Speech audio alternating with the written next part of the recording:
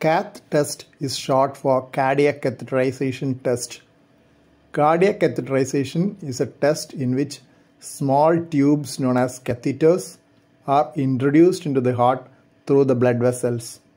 The test is done in a special procedure room known as cardiac catheterization laboratory cath lab. The catheters are guided through the blood vessels into the heart using live X-ray imaging, image intensifier fluoroscopy. Sometimes echocardiography, ultrasound imaging of the heart may also be used to guide the catheter within the heart. Bedside cardiac catheterization can be done using special flow directed catheters which have a balloon at the tip. When the balloon is inflated while in the right upper chamber of the heart, right atrium, the catheter takes the course of the blood flow into other chambers. This method is usually used to measure the blood pressure in the pulmonary artery, blood vessel of the lungs. Basic principle of cardiac catheterization is that in whichever chamber the catheter is introduced, pressure and oxygen saturation is measured. Continuous monitoring of the pressure at the tip of the catheter is done to obtain the pattern of the pressure tracings. The pattern of the tracing varies between the various heart chambers and also depending on disease conditions.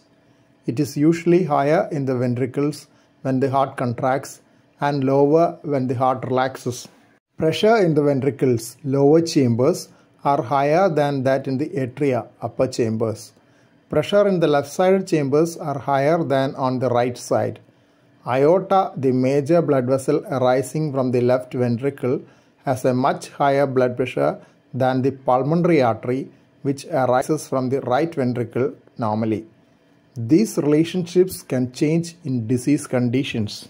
Oxygen saturation is measured by withdrawing small samples of blood from the concerned chamber. The samples are analyzed in an equipment known as blood gas analyzer, which gives the amount of oxygen in blood as well as other important information. Usually, oxygen levels are lower in the right sided chambers and pulmonary artery and higher in the left sided chambers and aorta. But this can change in birth defects of the heart when the origin of the blood vessels and position of the heart chambers can be abnormal. There could also be mixing of blood from both sides of the heart when there is a defect in the wall between the chambers of the heart. This mixing of blood is called shunts. It could be a left to right shunt, right to left shunt, or bidirectional shunt depending on the type of birth defect. Catheterization of right side of the heart, right atrium, right ventricle and pulmonary artery is called right heart catheterization. This is done by introducing catheters through the veins, the blood vessel carrying oxygen poor blood to the heart. Catheterization of the left side of the heart, left atrium, left ventricle and aorta is known as left heart catheterization. This is done by introducing catheters into the arteries, the blood vessels carrying oxygenated blood to various parts of the body.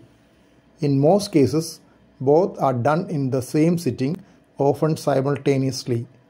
Blood vessels in the groin, arm, and neck are chosen for this study. In adults, the test can be done under local anesthesia. In children, as they are afraid of procedures, general anesthesia is needed. A related test known as angiography is also often done along with cardiac catheterization. Angiography is done by injecting radiocontrast medications into the blood vessels or chambers and taking continuous X-ray imaging, cine runs. One of the commonest forms of angiography is coronary angiography, the visualization of blood vessels of the heart. This is used to detect blocks in the blood vessels and to assess their location and severity. Visualization of the lower chambers of the heart by injecting radiocontrast medication is known as ventriculography. Angiogram of the aorta is known as an aortogram. Blood vessels of the lungs are seen on pulmonary angiogram.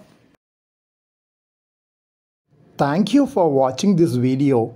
Please subscribe, like, share and post your valuable comment below this video.